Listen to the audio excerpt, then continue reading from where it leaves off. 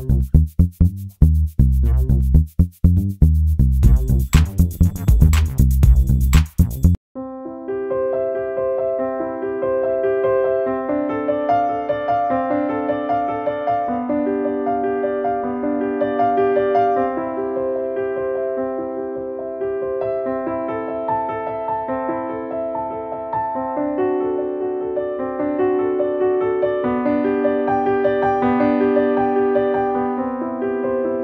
Hey everyone, thanks for tuning in to Minority Gamer Report.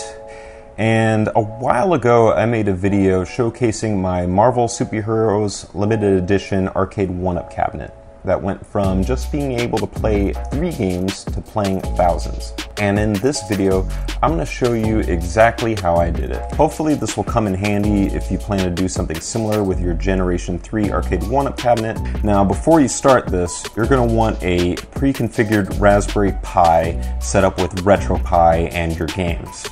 I made a video already on how to set that up, a couple years back, so I'm going to leave a link in the description for you. Now, without further ado, let's go ahead and jump into this build. Let's start with the parts I used first. I used an HDMI LCD controller board, some Logitech speakers and sub, some dual-sided sticky tape, a USB male to female extension cable, some Velcro strips, zero delay USB encoder for arcade buttons, two LED coin select buttons, a custom J panel with three holes pre-drilled in, a power strip, a Wi-Fi smart plug with Alexa support, this is optional, an auxiliary cable extender, a Raspberry Pi with RetroPie installed. To hook up the marquee, I got a Y-splitter, a female to female power coupler, and a plug converter. Now let's go into the modding process. You're going to want to remove the back of the cab and unplug the wires going into the box-like metal thing in the back of the screen. This is where the PCB board is that has the stock games built into it. Take a small screwdriver and free up the PCB board casing.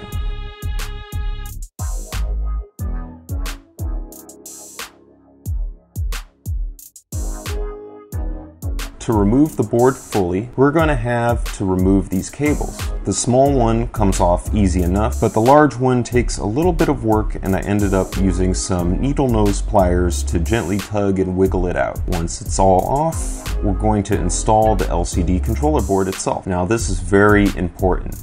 Do not touch the controller to the metal back of the screen. That will short it out and just fuck everything up. Let's go ahead and attach the wires and the ground to the LCD controller board.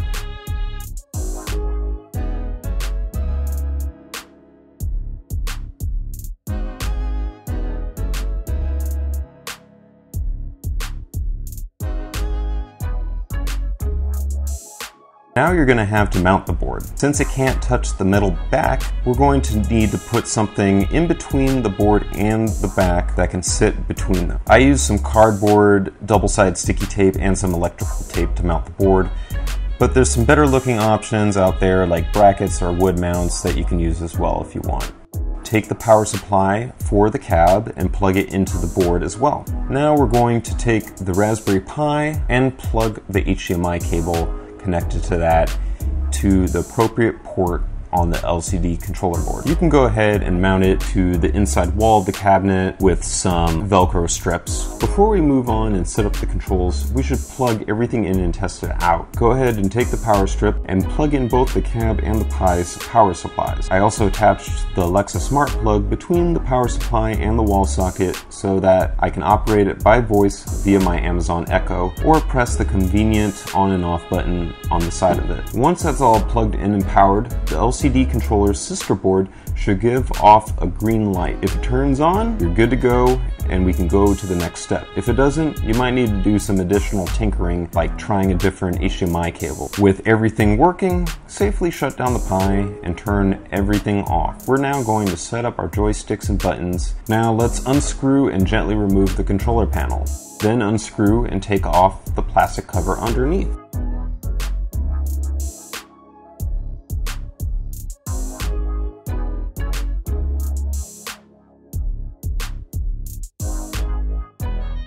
We can now see all the wires for the buttons and controller that are currently plugged into the stock controller board. We're going to disconnect those wires from the stock board and connect them to our two USB converter boards. First, we're going to take off the large cable that formerly connected to the controller panel. Next, we're going to cut the ties around the wires for better maneuverability. And then we're going to unplug each individual cable for each button and stick. This part is honestly a little annoying because everything's all glued up so what I ended up doing was taking some pliers to wiggle each one out very slowly. But I highly recommend using an X-Acto knife or something similar to help get it out. Now that everything is unplugged from the stock board, we're going to replug everything into our USB converters. Can mount the controllers with some sticky tape if you want, or leave them loose for now. The order for plugging these in doesn't necessarily matter since we'll be programming everything in RetroPie, but it's important to make sure that both USB converters on each side are plugged in identically otherwise it won't work properly. One more step before we start though is we're going to need to remove the cables from the joysticks and replace them with the ones that come with the USB converter. And then we're going to go ahead and plug everything in. As I said before, make sure both LCD controllers have the buttons and joysticks plugged in identically on each side.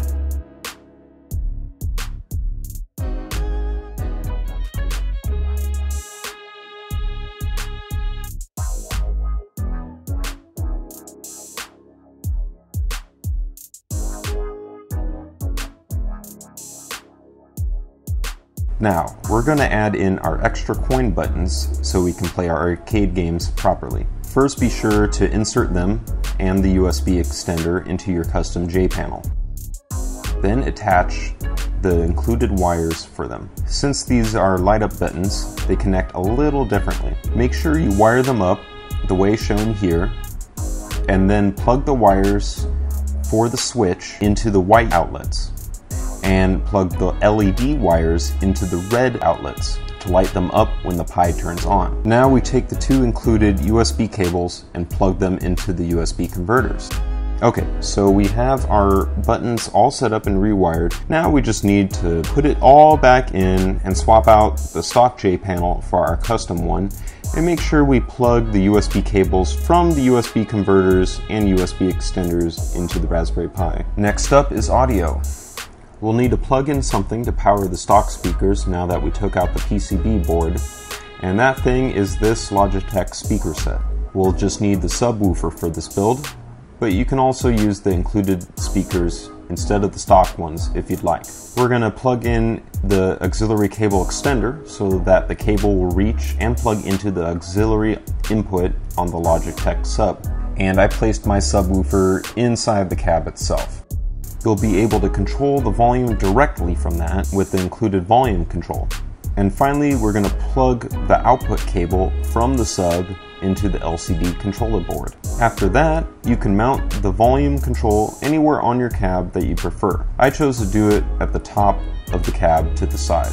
And the last step is to get our marquee to light up again. We're just going to take our cables that we got for the marquee and wire it to the LCD controller and split the power between the LCD controller and the marquee so that they are both able to use the same power supply. So, marquee cable to 1.35 by 3.5 millimeter to 2.1 millimeter by 5.5 millimeter plug converter to 2.1 millimeter by 5.5 millimeter Y splitter to LCD controller to 2.1 millimeter by 5.5 millimeter female to female coupler to power supply. Yes, I know that's a mouthful. Yes, it's kind of confusing, but it's easier than it sounds. I believe in you. You can do this. Okay, and now that we're nearly wrapped up, we just start up the Raspberry Pi and configure the buttons. Most default setups will bring you to the controller menu automatically when you boot up the Pi, but just in case it doesn't, take out one of those wired USB controllers you got and go into the menu to configure the controls. You can configure them however you want, but the general mapping preference is from left to right, top to bottom, YXL, BAR, start equals player select, and select equals coin, with the hotkey equaling the coin select buttons as well. And guys, that is pretty much it. You're done. You now have an awesome little arcade system that can play thousands of games. If you want, you can also use console controllers or a mini USB keyboard via the USB extended plug. You can do tons more customization options to your Arcade 1-Up cabinet, and there are tons of online communities and videos on how to take this even further from adding in a coin door or a bar stool like I eventually did, to swapping in a PC to play more modern games, to putting in a bigger screen, to adding in cup holders for your beverages, light guns, wheels, tons of other really cool things, so I highly recommend doing searches on that. If you end up doing this project, please let me know what your experiences were with it, or let me know what other arcade cabinets you decided to mod if it wasn't the Marvel one. Also, I want to give a shout out to ETA Prime's YouTube channel. His video on Arcade 1-Ups really helped me a lot with this build. If I made any mistakes with this process in this video, please let me know. Also, if you need any help or have any questions on how to do this or run into any problems, please let me know in the comments as well. I'm more than happy to take some time and, and try to address as many as I can. Uh, thanks for watching, everybody. Really appreciate you guys supporting this channel. Peace out and game on.